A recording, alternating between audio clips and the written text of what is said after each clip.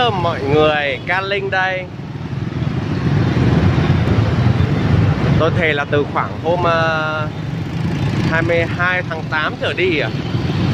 Mà hôm nay là ngày mùng 5 tháng 9 rồi.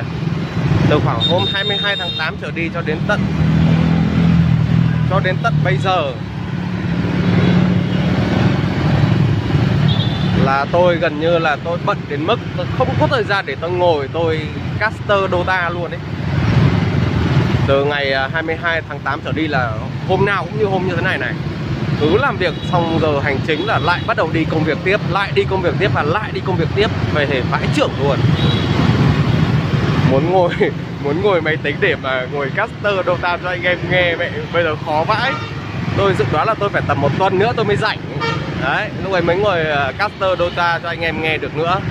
Thì có nghĩa là hôm nay mùng 5 tháng 9 mà cộng thêm khoảng một tuần nữa là nó rơi vào khoảng ngày 11 với cả ngày 12 trở đi của tháng 9 Đấy, là tôi có thể rảnh Đấy, thì tôi đăng cái video ngắn ngắn này lên uh, Youtube để có gì anh em nắm bắt cùng thôi.